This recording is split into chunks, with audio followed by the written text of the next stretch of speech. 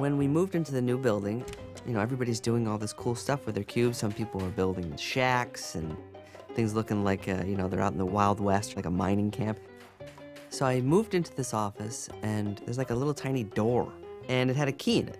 I opened that door, and there was this air conditioning access vent. It opened up into this huge space.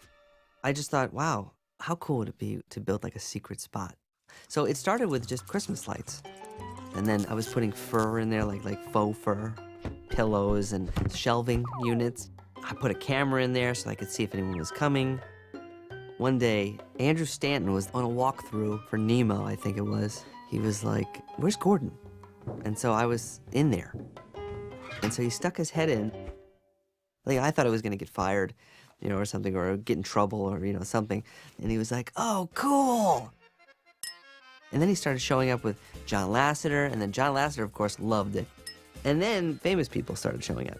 So I'd be sitting in my office. Hey, Andrew, we're coming to the office, and it would be like big Hollywood stars, famous musicians, world famous photographers, sports stars, directors, legendary animators, you know, you name it. They would all want to come in and have a drink.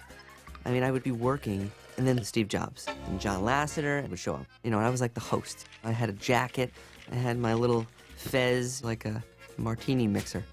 There was like a whole band in there once where they did a whole performance. There was a whole entire soccer team in there at one time. Then you'd have like big wigs come in, but it was like this place that they had to bring people. It was strange because everybody had to crawl through. It was just an awkward position to be in. Some of the stories I heard were pretty unbelievable. those walls could talk, it'd be really something here.